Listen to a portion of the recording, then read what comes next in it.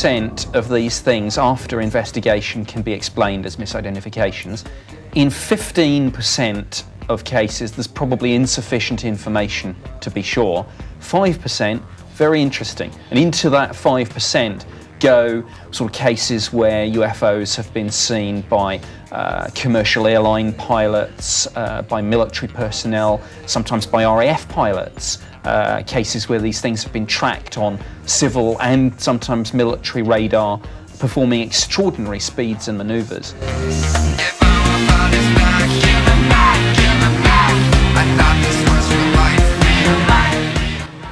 definitely the majority of all UFO reports can be explained in conventional terms. Mm-hmm. You know, we forget that the word, the acronym UFO stands for unidentified flying object, and unfortunately, it's become synonymous with alien spaceship.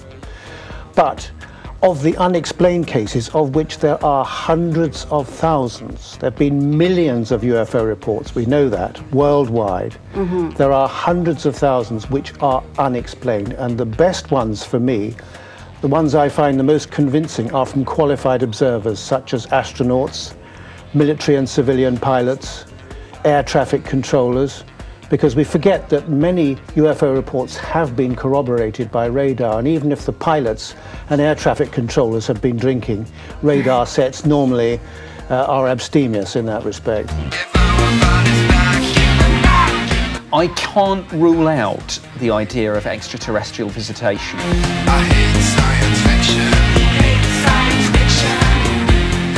I'd had no interest in the subject, certainly no belief, so I went in there really not knowing what to expect. But uh, I, I, must admit that uh, some of the things that I saw, both in terms of the old files, the, the ones that are now being released, mm. and of course the day to day business of, of the investigations on the new cases as they came in, that convinced me that by the end of that tour of duty, I thought, well, I still don't know what UFOs are. Mm. But there is more to this than just misidentifications of aircraft lights and weather balloons, even though by volume that accounts for most of it.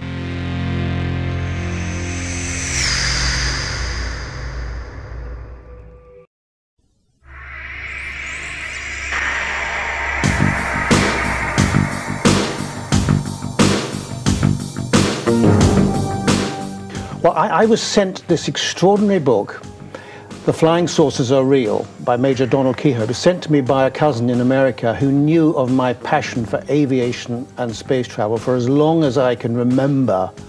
I think there's something in my mother's baby book to the effect that at the age of a few months old, Timothy seems uh, unnaturally fascinated by all manner of flying objects. But I've always been mad about aircraft and space travel, so it was a natural progression. Mm. And especially when I read that it was pilots and, as I say, uh, both military and civilian and air traffic controllers were, were confirming these things. So that really uh, clinched it for me. I've never seen a UFO, let alone a, um, anything more exotic um, in an Air Force no, hangar. No spooky experiences at all? No, not really. But in a sense, I think that's that kind of gives me an advantage because it means that as somebody who uh, used to have this as a job for the government, as somebody who now commentates on it in the media and writes about it um, for the newspapers, for example, I can, I can do so in a fairly dispassionate way, and, and I can sort of say, look, I'm not some um, believer trying to ram a view down people's throats, but this was my job. I did this for the government. This is what I, I know. Well, I, I've selected from my book what for me is one of the most compelling images of an unknown flying craft that I've ever seen. It was taken in 1963 by an Avensa Airlines, that's Venezuelan Airlines pilot, sitting in the right-hand seat as the first officer. He took it mm. through the window with his camera, showing a craft, its shadow on the jungle beneath, and the aircraft shadow is also quite clearly visible, that of a DC-4, and you can see part of the engine, what's called the spinner, of this four-engined airliner. And the photograph has been analyzed by professional topographers and mathematicians. despite the fact it has been it was debunked almost as soon as it had appeared by all sorts of people who were either ignorant or were professional debunkers and I've made my own tests on it using an actual model of a craft and an airliner.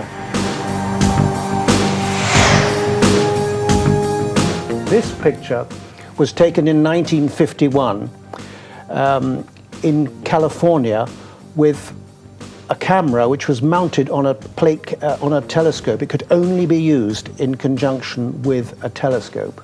Okay. So very, very difficult to fake. And it shows a craft which is estimated to be anything from 1,500 feet in length, and some smaller craft which were seen to leave it, mm-hmm. which appear to be surrounded by some kind of corona, which many physicists believe is a corona of, of plasma associated with the propulsion system of some of these objects.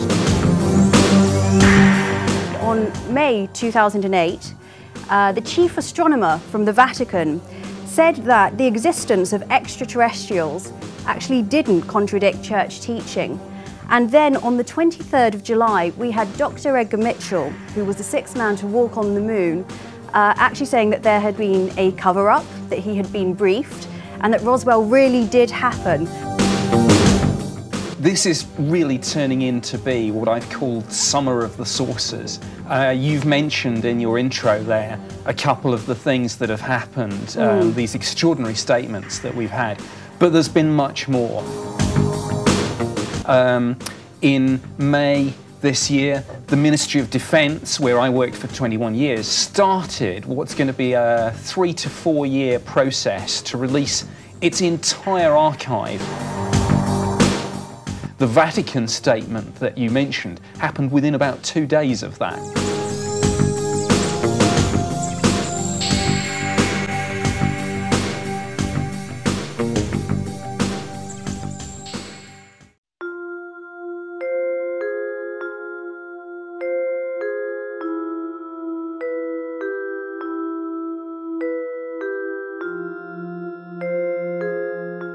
Um, Roswell, I mean, that's a massive topic that everybody always wants to talk about. Yes. What are your feelings on that? Well, it definitely happened. There's dispute about some of the sites where, it, where the craft crashed. There, some people say there was more than one craft, too. My own information from my own clandestine sources is mm. that at least one craft was actually shot down by the United States Army Air Forces. Okay. And it took several days before it came down.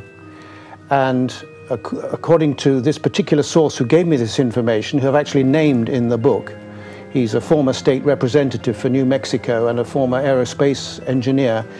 He said a colleague of his actually saw one of these recovered craft and he could see the, the entry holes for the particular caliber of ammunition that would have been used to bring this craft down. And this led to an extraordinary um, conflict. If I can only describe it as that, because not just in the United States, but all over the world, um, following the that incident, mm -hmm. the UFOs, or some of them, began to attack our aircraft. And right. many, even airliners, not just military planes, but many airliners were lost during this conflict situation. And I believe it's a conflict situation which continues to this day to some extent. That's not to say they're all hostile by any means.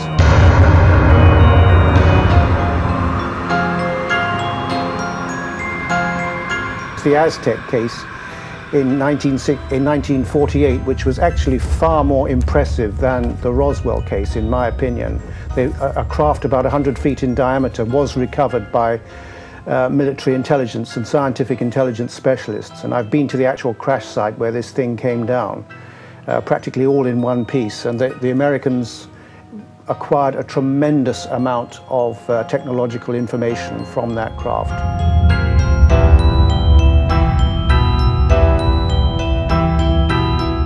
It was in March of 1948, and many witnesses, uh, actually, there have been sort of deathbed confessions, mm -hmm. which have been uh, reported and witnessed by uh, Scott Ramsey and his wife Suzanne, who, who are planning a book on, on this case. And I've done a chapter about it in, in Need to Know. And uh, many scientists were involved. They eventually managed to get into this craft through a hole in one of the portals. Again, this implies to me that it was perhaps shot down, and there were, I think, uh, quite a number of small alien bodies which were charred. They were all deceased, and they all had apparently uh, died as a result of exposure to the atmosphere, which had obviously got in through one of the cabins.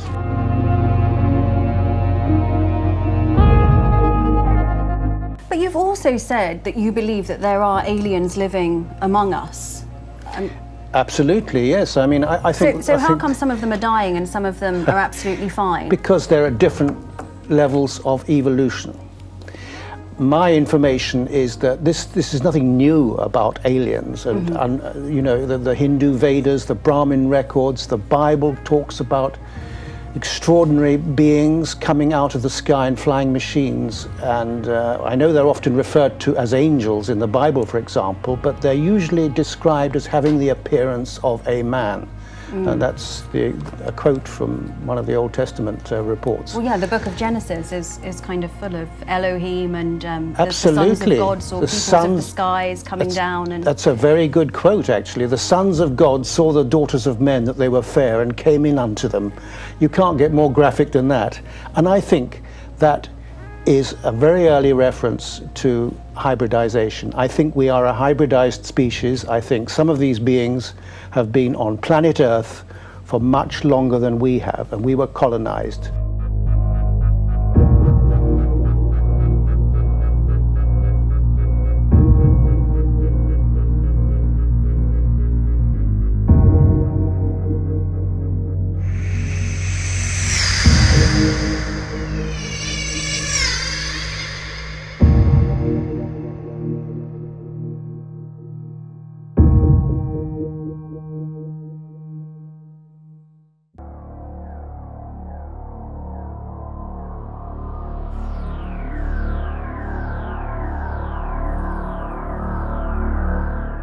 Edgar Mitchell, um, I know, and I've discussed uh, his opinions uh, about the subject, and, and, as many of you out there will know, mm. about five or six weeks ago, he he uh, he was reported in the in the, the, national media that you know there was there's been a massive cover-up since the 1940s, and that contact has been established. But I mean, actually, he's been saying this for years, but this was the first time he said it uh, quite so pointedly. Yes. Um, but yes, I mean. It, Correct, you... are absolutely right about that. Yeah. He's, he's, even emphasized, you know, I've been saying this for years, but suddenly it's picked up and it, and it becomes a news item.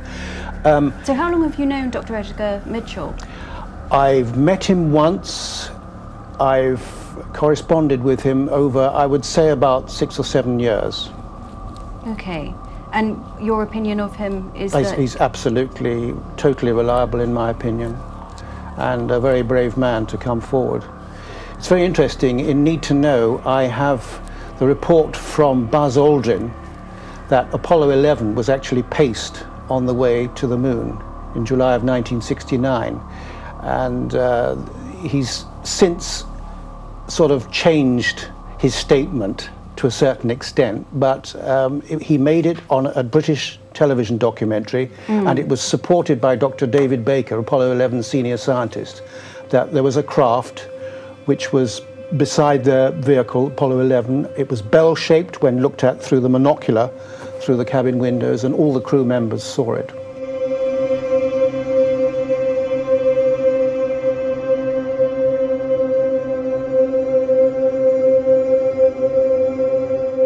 Are certainly some um, very, very big hitters in, in, America and indeed here in Britain who, who have said, yeah, very much we, we believe that this is a real phenomenon. Mm. Um, uh, recently, of course, in the presidential uh, campaign, one of the candidates, Dennis Kucinich, um, it was revealed that he'd seen a UFO, actually at Shirley MacLaine's um, house. So that's, that's a nice little tie-in. One wonders what they were getting up to. Oh, well. then yeah. then uh, Fife Symington, mm. who's a former two-term governor of the state of Arizona, um, said in relation to a very famous wave of UFO sightings that happened uh, in Phoenix uh, in 19 uh, 97, he said, not only, um, he said, did, was this absolutely real? And I was governor at the time. He recently said, but I saw it too. And the really interesting thing is that. Um, Didn't he deny it at the time when he was in office? this was really famous. He held a press conference where he said, We found the culprit. And out onto stage came his chief of staff dressed up in an alien suit. So he debunked the whole thing. Uh, he has now said, Look, I'm really sorry uh, that I did that. He said, but things were getting out of hand. There was mass hysteria. Uh, hundreds of calls were coming in. But isn't that precisely why we're not going to get uh, a major statement by a government because they wouldn't want to take responsibility for, as you as you've spoken about, perhaps the ensuing panic? Well, I, I don't know. I mean, I, I think, you know, the, that situation was quite extraordinary. I think one of the other problems, if there is some big secret that the government uh, or several governments are going to release, one of the problems is actually a constitutional one because it's, it's one thing to say, we found alien life and here it is. The problem is, uh, but we've been lying to you about it for 60 years by, by previously denying it. So, so that's a constitutional problem.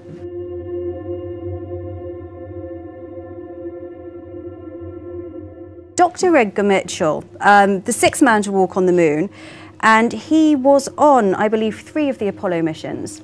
Um, graduated from MIT, uh, one of the most highly regarded uh, astronauts of our time. Surely what he says is credible, but then wasn't there a statement released uh, by the American government, or was it? NASA released a statement, Right. yes. Um, and NASA, uh, obviously, for the reasons you've said, this guy is an all American hero. Uh, you have to be very, very careful uh, in America about um, uh, making any criticisms of the astronauts. Um, NASA said, it was a very interesting statement, they said, uh, Dr. Edgar Mitchell is a great American, but we do not agree with him on this issue. Right. Then Edgar Mitchell was, uh, and, and they went on to say NASA isn't covering up the truth about UFOs. Edgar Mitchell turned round when he was quizzed about this afterwards and said, "Yeah, but it's not NASA that have the lead on this. NASA probably don't even know about this, some of this stuff." He he says that that a lot of this is is more more a sort of cabal of people from different agencies, Right. more of of Like kind of the Illuminati Well, something. something like that, yeah, Right. as opposed to one entire agency that knows all about this and is this covering is it a up. secret club of all different types of agencies. a person here, a person there, key people in maybe a number of different agencies. This is what he's saying, but he claims to have uh, sources at um, very, very high level in the Pentagon and elsewhere. And let's face it, if you were actually going to confide in someone, uh, and, and people can't keep secrets, an astronaut is exactly the sort of thing, uh, the sort of person that you would probably tell about UFO secrets.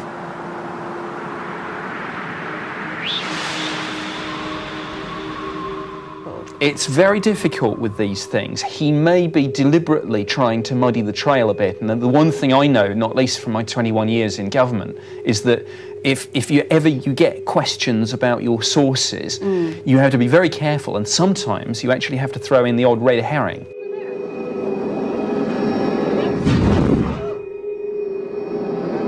I mean, if there is part, uh, some kind of secret society of people in the know, are you part of that society?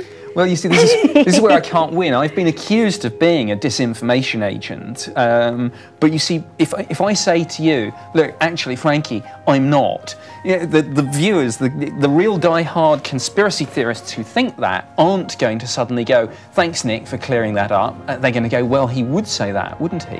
Um, so I can't well, you would win. say that, wouldn't you? Well, I would, yes.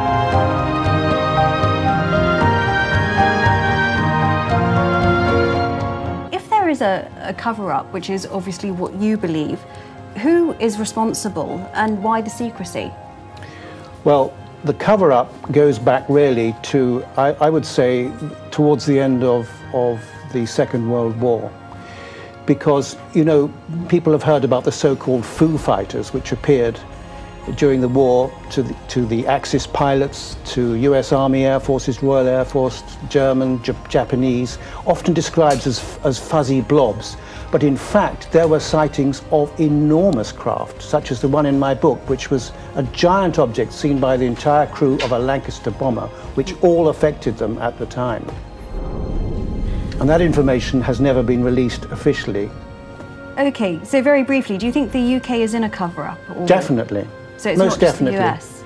Um, we, well, the way it was put to me quite a long time ago by a former director of MI6 was Timothy, I think you'll find we leave that to the Americans.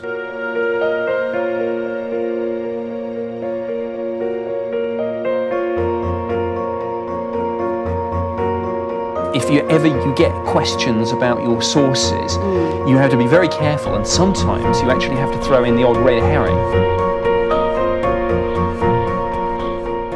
The way it was put to me quite a long time ago by a former director of MI6 was Timothy, I think you'll find we leave that to the Americans.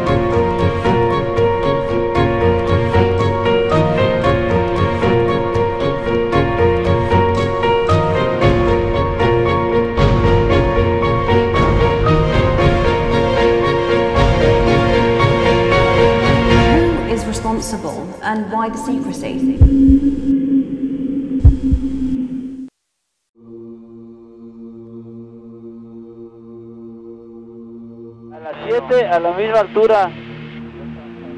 Hay unas nubes ahí, se ve de ver. I mean, there is certainly a, a body of people who believe that many of the um, cutting edge scientific discoveries that we've seen in recent decades actually came from the UFO that crashed at Roswell.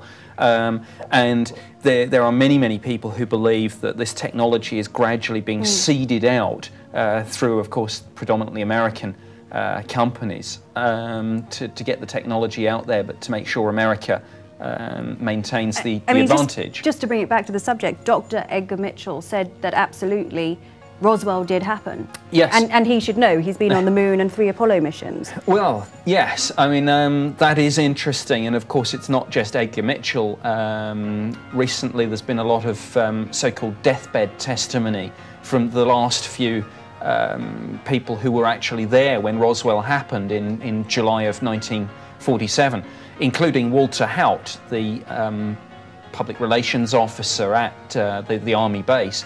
Uh, and, and he, in, a, in an, signed affidavit that, that uh, came out recently, uh, said yes, uh, it was real, there was a crashed spaceship, uh, there were aliens.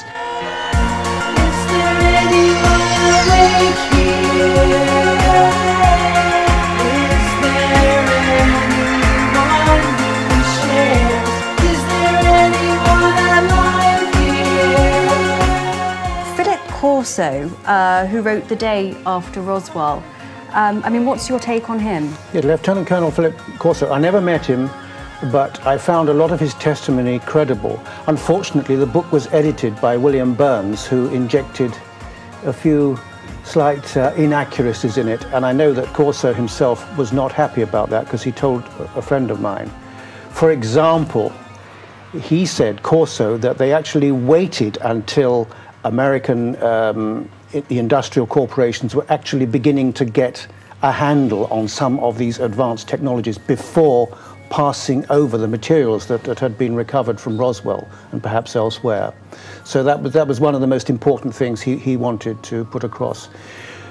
I know many people have said that, oh, we found that he wasn't on the National Security Council. Well, he wasn't on the National Security Council, but I've got his military records, and they show that he was on the National Intelligence, National Security Council's intelligence staff Right. for quite a few years as an intelligence officer, and he had he was involved with a special coordinations board, which uh, dealt with some of the most sensitive clandestine operations mounted by the United States States government. So, you know, he did have he did have a, a, a very very good intelligence background.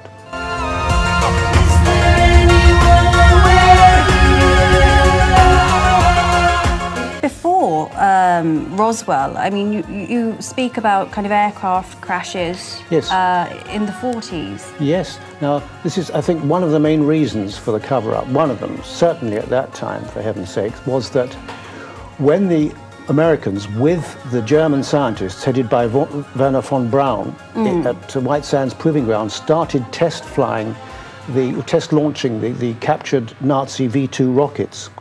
The UFOs increased their surveillance and they started buzzing the rockets and in several cases causing them actually to crash or come down to earth prematurely.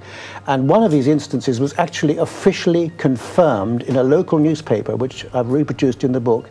And the director of the White Sands missile base says that uh, unexplained phenomena were responsible for bringing down the rocket.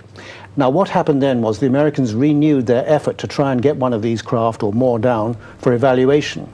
They succeeded, and all hell let loose because all over the world, not just in the United States, aircraft crashes, many, many completely unexplained crashes, not just military planes sent to intercept UFOs, which were being reported in the press every day at that time, but worldwide and civilian airliners.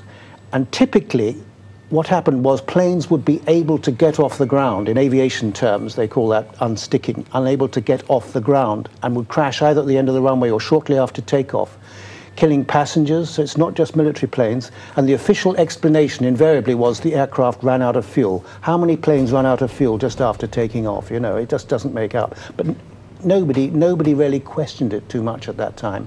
But an emergency situation was declared by uh, President Truman at the time. And this started in, in around um, April, May of 1947. And there have been So how many of these crashes were there? well, I know the, I don't know the exact figures, but I know now the Defense Department figures for 1952 to 1956. There were 18,662 crashes, of which 9.5% were unexplained. And they were, that's 1,773 crashes which were due, as it says officially, to unexplained causes, unknown causes.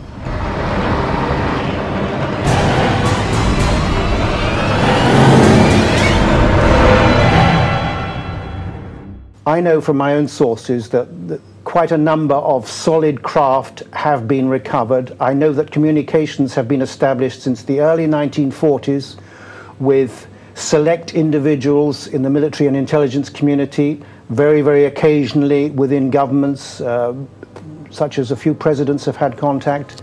So the proof is all there. As to evidence, there is, there is excellent evidence that we have in the civilian world of actual craft. I've produced uh, color photographs of an apparent alien in my last book, Unearthly Disclosure, photographs taken in Italy in 1993, which I'm convinced are absolutely genuine. But you didn't see the real thing. I didn't see the real thing, Oops. but Because it could be slightly paper mache. Sorry, my ear thing. It could be. It could be. But I hired a forensic scientist who works for the police on on um, imagery Uh-huh. to study the photographs, which were Polaroids, and I made copies from the original. I examined the originals myself, and furthermore, the witness had, on one occasion, a close-up sighting encounter with this creature when when it was photographed. So that's the best I can come up with. But you know, believe me, they've got a lot of better information uh, hidden behind uh, closed doors.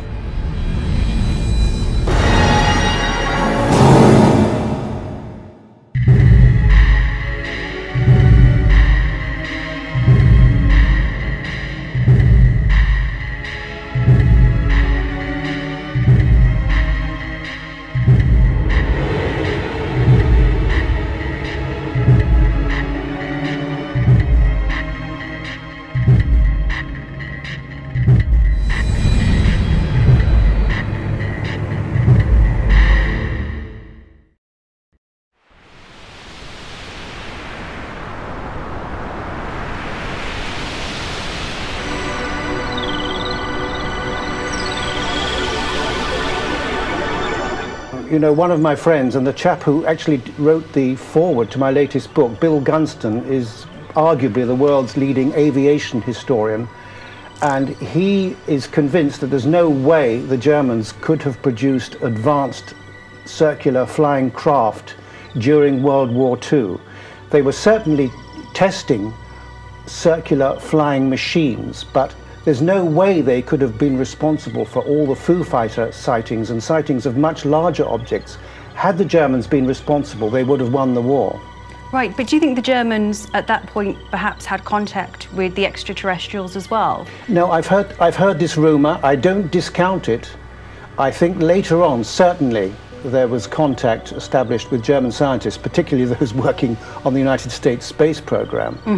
But um, as to earlier than that, I, I very much doubt it. And I think a lot of material has come out via Nazi propagandists about Hitler escaping to South America and, you know, with fleets of flying saucers and with a base in Antarctica and so, so, and so forth.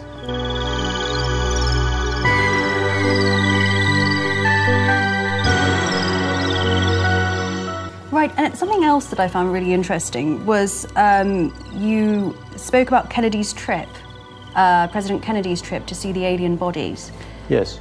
Um, I mean, sorry, would you mind elaborating for our viewers at all. on that? No, no. I, I was informed by a reliable source attached to JFK's source, White House staff, that in 1961, 1962, John Kennedy requested the observation of actual alien bodies, which he had learned had been recovered by, by the military.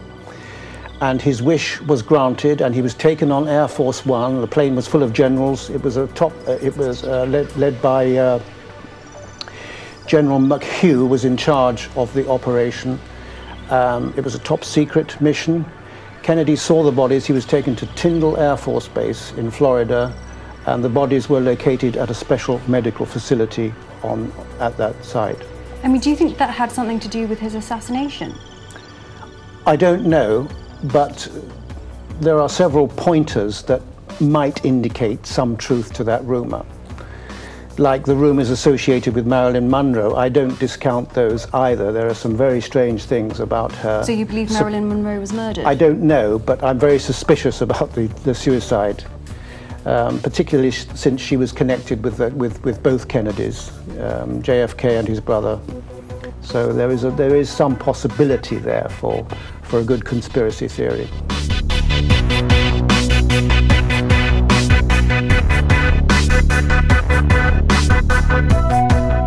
My information is that there are some highly advanced craft, some of them spacecraft, which certainly the Americans and maybe one or two other governments, I don't know yet, but certainly the Americans um, are flying, and I think they've been in service for quite some time. And of course, this gives rise to all sorts of questions about unidentified flying objects. Just how many of the above top secret craft that the Americans have are, are normally seen in, in um, you know, unrestricted areas is, is very questionable, but I think some sightings must relate to that.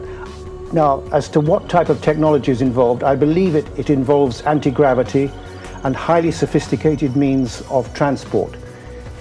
In 1993, Ben Rich, who headed the Skunk Works, Lockheed Martin's Skunk Works, which developed the stealth F-117 plane, said in the presence of two friends of mine at the, at the University of Southern California, University of California, that we have the technology now to go to the stars. He confirmed this, but he also said that all this is, is hidden in, in uh, above top secret black budget programs, and he said it would take an act of God to bring this out into the civilian world for the benefit of humanity. So that's very interesting. In 1993, here's a man who was in a position to know who says that we already have the technology, short of a few equations, he said in 1993, I hasten to add.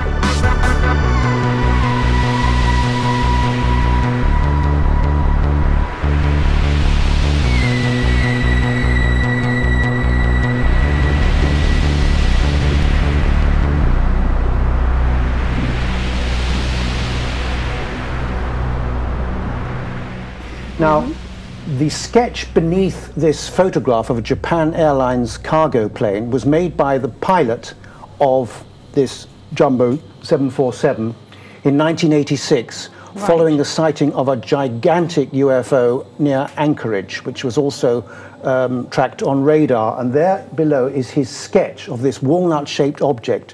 And I don't know if viewers can see, but the, the size of the plane uh, underneath it to the right underneath the, the rim, the lip of the craft, for comparison, shows that it absolutely dwarfed. This was an enormous object, and it was seen by the entire crew. and, as I say, tracked on radar. And that was uh, confirmed by civil aviation authorities and the CIA, who tried to discredit the story.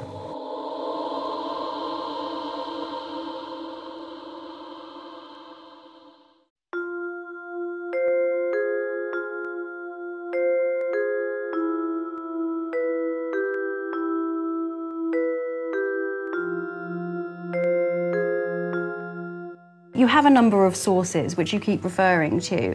Um, I mean, are all of these sources, uh, do they kind of speak off the record? Do some of them wish to remain anonymous? Some of them speak uh, definitely off the record, that's for sure. Um, other, others feel that certain information, the time has come to reveal this information. And I'm not the only uh, reporter, if you like. I'm, I'm a professional writer um, of books, not a, not a journalist as such, though I have written articles for newspaper, but I hold a press card. And I know that a number of very distinguished um, journalists in the United States, for example, have been given some of the basics of this information, so that it's not as if we're all going to be completely unprepared. But um, it's not just in the United States, by the way, where I have acquired um, information. So, where else in the world have you acquired this information? Well, I, I'd rather not say actually, but uh, Oh, okay. certain, certain countries, Okay, so would you say that some countries are more forthcoming than others? I would definitely say that, yes. Okay, but you're unable to say which countries. And I would say also that I, the information I get is, is very, very occasional, and it's really uh, uh, uh, like fitting pieces to a jigsaw. But do you kind of vet all of your sources? I mean, can someone just turn up and say, I, I work Oh, for I the have to be very, very, very careful, and I usually check out their credentials with, and I'm often introduced through somebody else. You need very, very high security clearances to get anywhere near these programs, which include an alien liaison program. Contact has been established. But you've managed to get close enough to amass all this wealth of information. Yes, I have. So surely it can't be that difficult. I mean, you've been. No, and, and it's not just uh, military and scientific intelligence personnel who've had contact, people from all walks of life. And I, I, I hasten to, to emphasize that. All walks of life, not just farmers in the outback, have had communications with extraterrestrials. I would say tens of thousands. Take 1954, for example, Air Marshal Sir Peter Horsley. He was Deputy Chief of, Street of Strike Command with his finger on the nuclear trigger at the time. He was an equerry, a military attaché for the Queen and the Duke of Edinburgh for seven years at Buckingham Palace when this event happened to him. Mm-hmm. Now, first of all, he actually, at some, at some time in the 50s, was working in the Ministry of Defense Operations Room dealing with UFOs and collaborating with the Americans, and he could never get near their top secrets. But he did have, he claims to have had a two hour meeting with an extraterrestrial human being in the middle of London, arranged for him via a British Army general. And I spoke to him at great length about that, and I'm convinced he was telling the truth. And one of the most disturbing things he found during that encounter was that this alien knew all Britain's top secret nuclear secrets and knew everything that was in Sir Peter's mind. When the wall came down, late 88, I think it was, um, I was invited to the, Soviet, the former Soviet Union and I appeared on television. And they were very, very open about the subject. I, I was talking about um, all sorts of things for, for a, at least a half an hour on a live program in, in uh, St. Petersburg. It's very interesting. Um, in 1977, this is not generally known, that a 10 to 12 year top secret program to investigate UFOs by the military was established by President Andropov. This was initiated in 1977 by President uh, Yuri Andropov, who used to be, uh, for much longer than he was president, head of the KGB, that's the, you know, the Soviet uh, CIA. And he initiated this program because the military was getting gravely concerned about the intrusion of UFOs, and four million soldiers were involved throughout the territories of the Soviet Union to investigate. They were told how? they were told to look for them, to take down details of any reports and so forth and pass it up the line. And it was classified top secret top secret code word. Top secret Institute 22 was, was the uh, additional code word to that program. Top And it- secret with four million people involved. Four million soldiers, and the information did not come out until about uh, 10 years ago.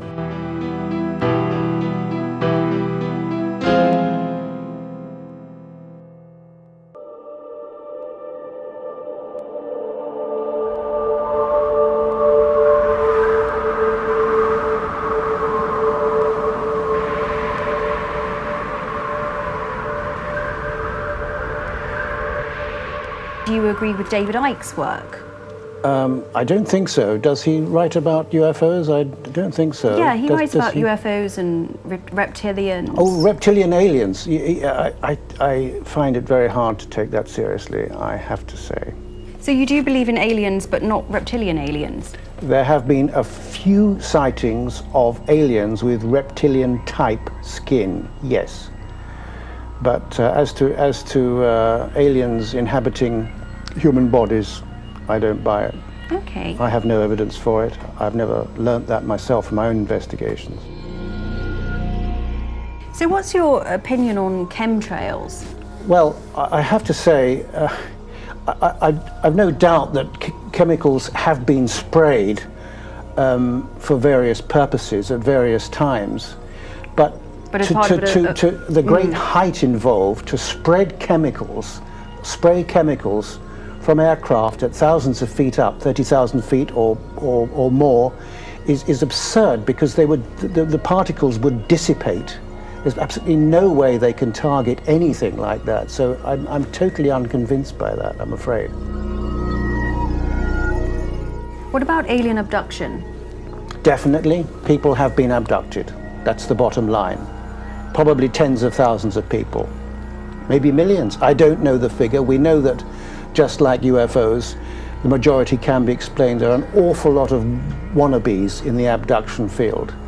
You know, it's become uh, a little bit of an iffy subject, but people have definitely been abducted.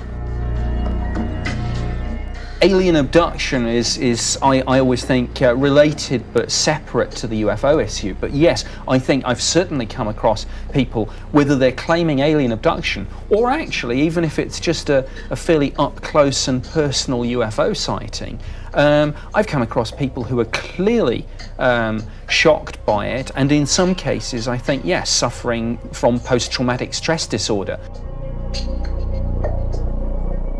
What do you think of uh, hypnotherapy and kind of regression therapy as a, as a means of, of dealing with um, alien abduction? I'm glad you raised that, Franky. I think this is, I I feel very strongly about this. I, I think it, that hypnotherapy, hypnotic regression can be a very useful tool, but it should be used by qualified people.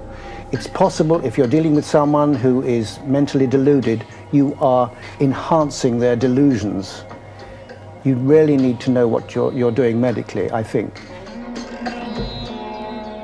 One of my other questions as well is animal mutilation. I mean, do you believe that that's a real thing? Definitely, phenomenon? I've investigated them personally in in um, in, Ameri- in the United States and in Puerto Rico, Commonwealth of the United States. They are happening. They're still happening, uh, mostly in Argentina and Chile at the moment. Um, I don't have all the explanations, but having spoken to a police officer in Puerto Rico who actually shot one of the creatures responsible for the mutilations, the, the so-called chupacabras or goat sucker, shot it at, you know, like from a range of five or six feet when it was trying to kill his dog. I have no doubt that these creatures exist and that uh, those are some of the creatures associated with the animal mutilations. As to the purpose of it, I don't know. I guess they need materials.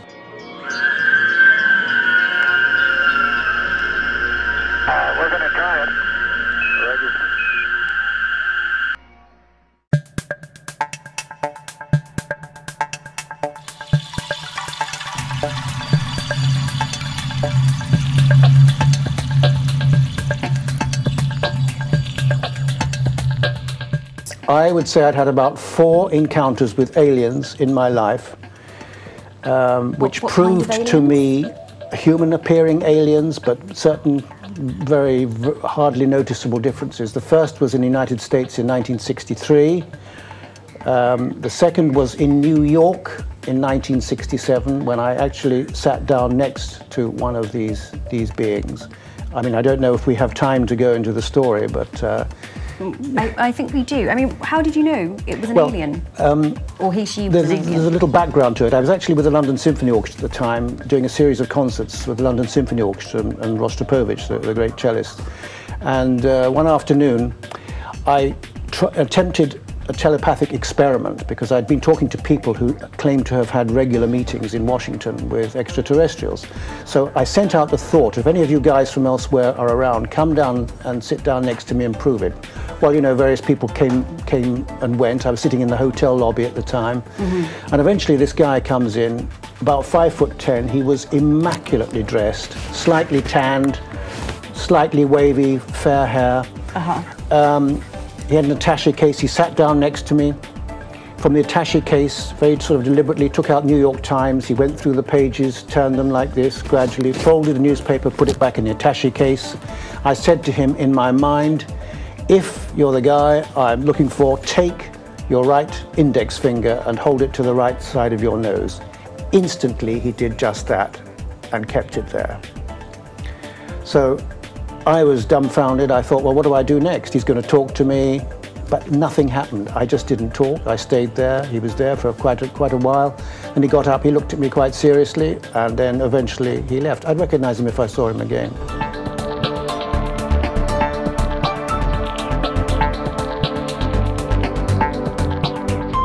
How many species of aliens do you think there are I think there are many.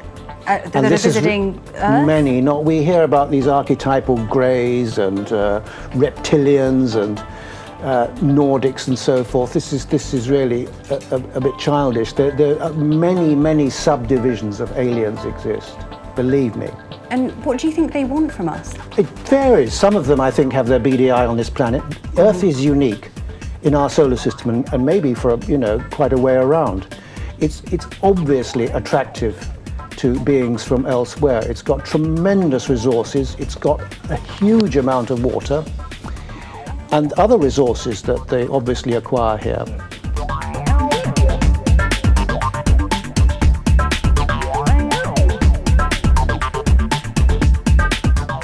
Well, we, we've talked, of course, about the um, Vatican's chief astronomer Yeah. just back in as recently as May, saying that uh, the existence of extraterrestrial life would not be contradictory to the teachings of the church. Now, it, you know, some people have suggested they know something and they're just trying to, to kind of hedge their bets. Um, but actually, you know, through a combination, it's when the opinion polls are taken on this issue, um, consistently over 50% of people believe in this sort of thing anyway. So on the day they do announce something, um, if that day comes, I think an awful lot of people will actually say, yeah, I kind of figured that there was something like that.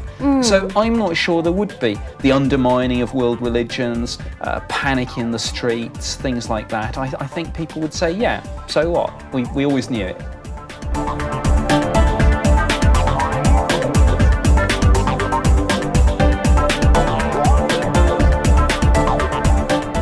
And do you think there is going to be any type of major disclosure soon by a government or a body? Well, as for, as for genetics, I, I'm convinced that some aliens have a hybridization program. I'm absolutely 100% convinced of that, and we are part of that. We've been hybridized before, we can be hybridized again, and they probably need materials from us to produce their own hybridized species. As for disclosure, well, it depends what's being disclosed, and if there is disclosure by governments, are we going to get the whole truth? I seriously doubt it. I seriously doubt it. There's going to be spin. They cannot tell us the whole truth. It's got to be gradual.